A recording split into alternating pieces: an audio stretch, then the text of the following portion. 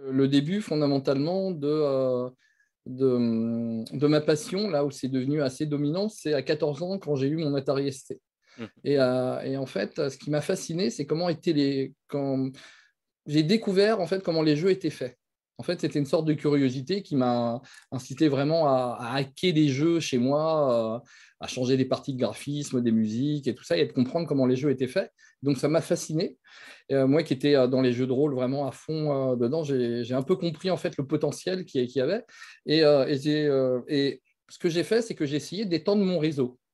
Ça, c'est assez fondamental, c'est de trouver des gens qui étaient comme moi qui, avait euh, la même passion, mais, voilà, avec cette curiosité aussi euh, technologique, à la fois du, euh, média. comment s'était fait un jeu vidéo C'était vraiment ça, mon, je pense, ce qui activait le plus mon énergie et, ma passion. Et, donc, à l'époque, il y avait plusieurs moyens en fait de rencontrer des, des gens aussi passionnés et des petites annonces de magazines je, vous, euh, voilà, je vous avoue que la presse m'a appris beaucoup de choses. C'est-à-dire que Jeux et Stratégie, Tilt ont été des magazines qui, voilà, fondateurs. C'est-à-dire qu'en fait, je me délectais, je les disais plusieurs fois, il y avait tellement d'infos, tellement de choses à comprendre dedans. Et euh, la littérature, à l'époque, était très, très rare en jeux vidéo. C'est-à-dire que j'avais deux bibliothèques à côté de chez moi et c'était très dur de trouver un bouquin qui parlait de jeux vidéo. déjà d'informatique, c'était pas évident, mais alors de, jeux vidéo, c'était encore pire. Et, euh, donc, euh, il y avait des petites annonces. Euh, adhérer à un club informatique, mais ça, je crois que j'avais abandonné parce que bon, je voulais pas demander d'argent à mes parents sur le coup. Et en fait, je me suis mis pas mal à traîner dans les magasins parisiens pour en fait rencontrer des passionnés comme moi. Et à ce moment-là, bah, j'ai commencé à, faire mon réseau, à, récupérer de l'information, à récupérer aussi euh, beaucoup de logiciels pirates, commencer un peu les, échanges. Euh, euh, voilà, ce qui, est, plus important qu'on ne croit à l'époque. Hein. Le piratage, c'est une partie fondamentale en fait de l'expansion de l'informatique et du jeu vidéo. même s'il il fait du mal à certains studios, à certains éditeurs, en fait, ils participent au développement.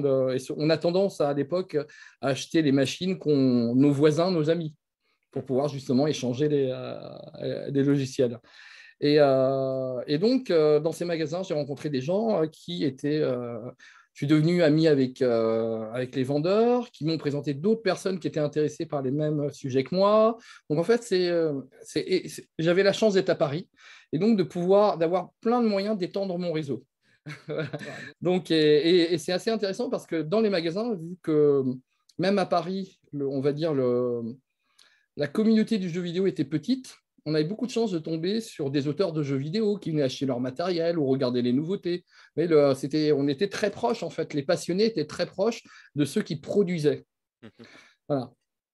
Et euh, alors, et euh, ce qui s'est passé, c'est, en seconde. En fait, il y, a une, personne dans, dans mon, qui, a, qui avait entendu parler de moi et qui est venu me voir et qui m'a dit Tiens, tu as quoi comme machine? Euh, et, cette personne-là m'a présenté en fait un groupe pirate, donc qui était à Montreuil, à, Paris, donc pas loin de Pressimage, d'ailleurs, un éditeur de, magazines. Euh, euh, et, en fait, bah, j'ai découvert un monde justement où des gens avaient plein de logiciels que je ne connaissais pas, qui rentraient vraiment, vraiment dans les entrailles de la machine. Donc j'étais vraiment voilà, très très content en fait de voilà d'avoir accès à tout ça. Euh, au secret, on va dire, et, euh, à la fois à l'accessibilité des, logiciels. Euh, et, j'ai commencé donc à, vraiment intégrer un groupe en tant que graphiste, mais aussi en tant que, que personne ayant un bon réseau. Et, on a commencé à produire des, des intros pirates. Et, et, en fait, la première fois où je suis allé voir un magazine, c'était justement des gens de ce milieu qui avaient euh, travaillé sur un jeu amateur et qui me demandaient, moi étant à Paris, si je ne pouvais pas faire office en fait d'attaché de presse, mhm. si je ne pouvais pas aller montrer le jeu en fait à, Tilt, notamment, mais aussi à d'autres. Bon, c'est vrai qu'on était, ils, avaient très centré sur Tilt, hein, leur demande. Hein. J'aurais pu aller dans plein d'autres magazines, mais c'était Tilt. Et donc, la première fois que je vais à Tilt, c'est pour montrer en fait un jeu fait par des, euh, par des contacts, qui me les avaient envoyés par la poste, hein, parce que transférer des, disquettes à l'époque, ça pouvait se faire, mais c'était compliqué. Donc, parfois, bon, voilà, la poste allait plus vite. Et, euh, donc, voilà comment j'entre la première fois dans le magazine Tilt. D'ailleurs, je vois le départ d'une personne que j'aimais beaucoup, qui était très, euh, très virulent au niveau de la critique. Voilà, c'est Mathieu Brizou, euh, euh, son pseudo c'est Acidric Bristou, je crois, à l'époque, et qui quittait la, la rédac avec ses MSX, avec une Atari VCS. Vous voyez, j'ai les, les, images qui sont gravées en fait dans ma, à tel point où, où ce moment était important dans ma vie quand je suis rentré dans la rédac.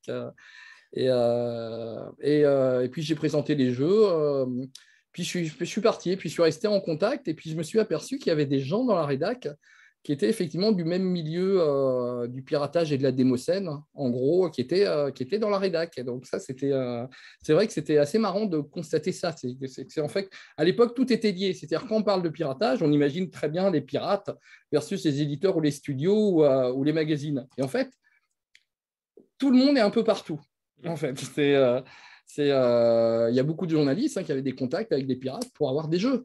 Euh, au tout début de Tilt, d'ailleurs, il y avait beaucoup de journalistes qui, avec leurs contacts, apportaient des jeux pour les tester parce que les, sociétés n'avaient pas de, de filiales en France, ou alors parfois, si, mais on les récupérait via l'Angleterre avec trois ou quatre mois de retard alors que le réseau pirate allait très très vite. C'était une euh, voilà la densité du, réseau pirate depuis l'époque du Commodore 64, euh, c'était quelque chose de très efficace.